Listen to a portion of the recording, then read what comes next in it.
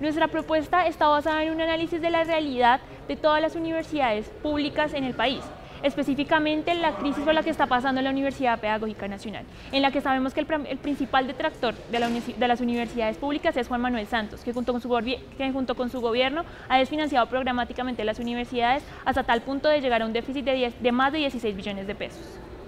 Como educadores, estamos convencidos de la naturaleza pública y el derecho fundamental de la educación. Por eso, enfrentaremos a través de la movilización y la oposición pública las políticas de privatización de la educación superior. Asimismo, ponemos en nuestro primer eje de financiación nuestra propuesta que es luchar por un plan de salvamento para las 32 universidades públicas, incluyendo la Universidad Pedagógica Nacional, basados en la Ley Alternativa de Educación de la Mesa Amplia Nacional Estudiantil.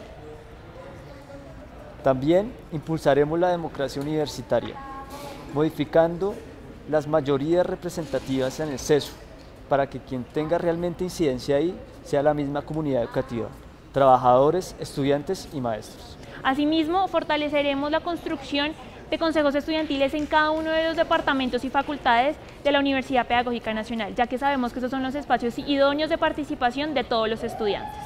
Propenderemos por un bienestar universitario que garantice la inclusión, el acceso y la permanencia de todos los estudiantes, incluso los de necesidades especiales.